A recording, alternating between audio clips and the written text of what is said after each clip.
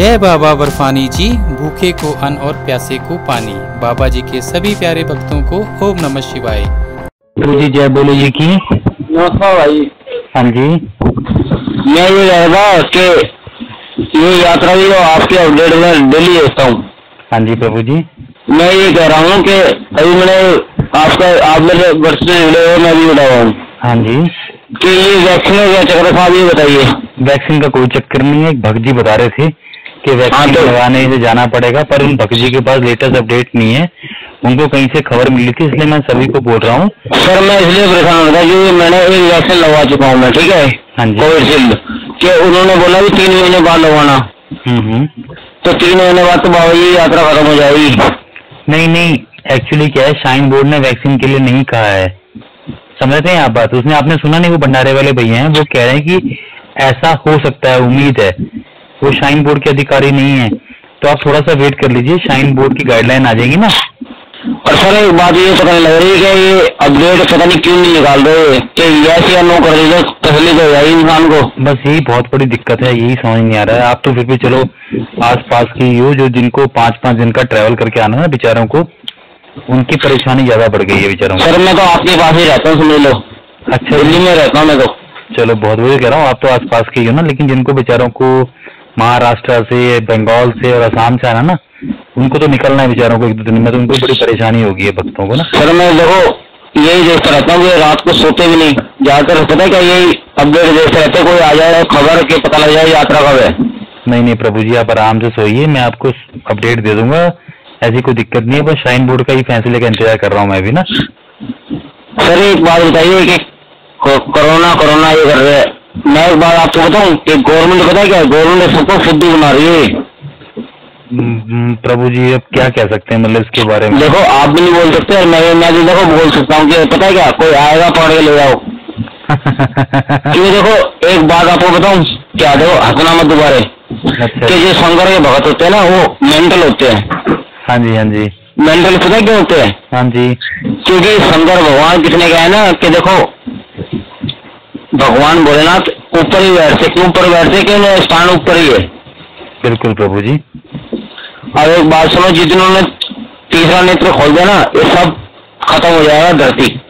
ये बात तो सही कह रहे हैं आप।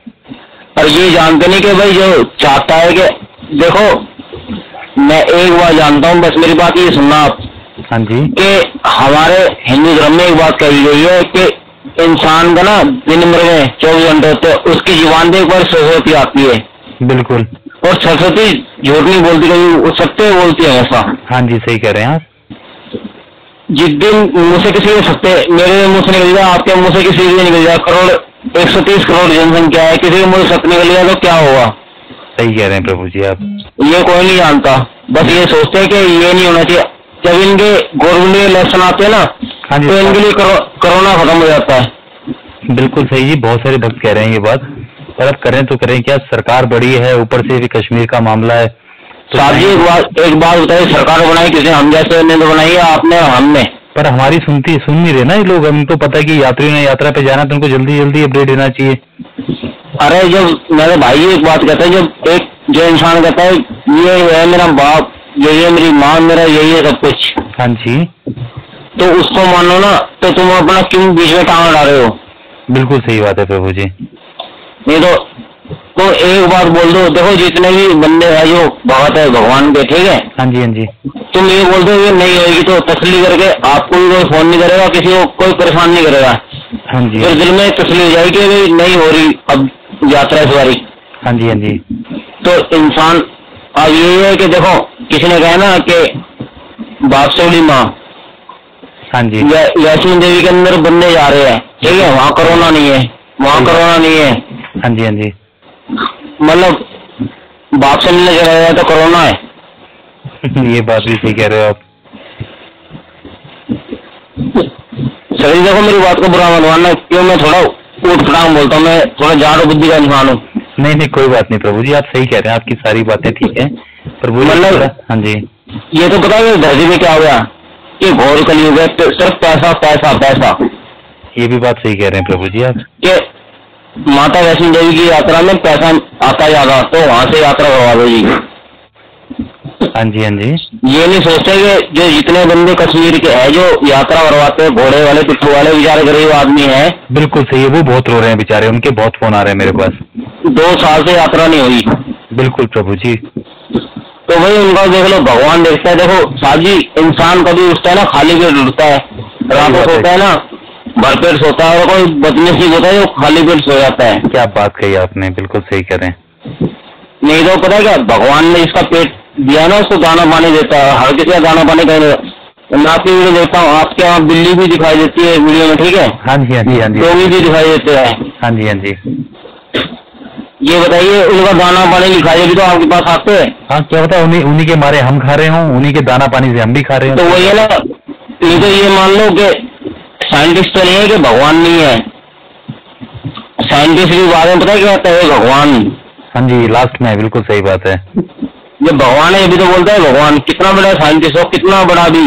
हाँ डॉक्टर हो चाहे कोई भी हो परमात्मा को याद ज़रूर करते हैं। जो बाद में ये कहता है जब हाथ से बात निकल जाती है ना हम्म, हम्म, कि भगवान तूने ऐसा क्यों करा? बिल्कुल सही बात है। और साहब एक बात ये बताइए कि मतलब ये यात्रा होएगी नहीं होएगी? मेरा मन तो कह रहा है कि ज़रूर होगी। होगी? हाँ जी। देखो जी मैं करता हूँ बिजली डिपार्टमेंट का काम। अच्छा अच्छा। ठीक है? मैं डेली वही वाली बात है कि भाई ने बोला था ना अभी मैंने वीडियो देख रहा था कि भाई मैं रोज उनके पैसे निकालता था सही कह रहे हो हाँ जी बड़ी तंगी से निकालते हैं कुछ लोग बिल्कुल। ठीक है जी? हाँ जी। साहब जी मैं तो बोलता हूँ मैं तो काम करता हूँ बिजली का। हर अच्छा। काम पे जाऊँगा तो मेरे को एक दिन के अंदर पाँच हज़ार भी मिल जाएँगे दो हज़ार भी मिल जाएँगे और ना मिलने मैं खाली हाथ भी आ जाऊँगा। बिल्कुल मतलब मैं लेबर हूँ। बिल्कुल जी। मगर जिस दिन उसने कहा ना भोलेनाथ ने कि भाई तूने साजी मैंने एक बार आपको पहले ही फ़ोन करा था आपको बताऊँ मैं केदारनाथ गया हुआ था और केदारनाथ पढ़ने आई थी ना उससे एक दिन पहले मेरी वाइफ ने मना कर दिया था। हाँ हाँ आप बता रहे थे बिल्कुल आप गए नहीं थे यहाँ फिर अब एक बार बताओ जिसके जीवन में लिखा ना मरना तो मरेगा। मैं तो एक सत्य बात कहता हूँ। इससे बड़ा कोई सत्य नहीं है। बिल्कुल जी। मर ये क्या भगवान से मिलने नहीं रहे भक्तों को? ये तो इनके ऊपर नालत है। बिल्कुल सही कह रहे हैं जी बड़े दुख की बात है ये तो।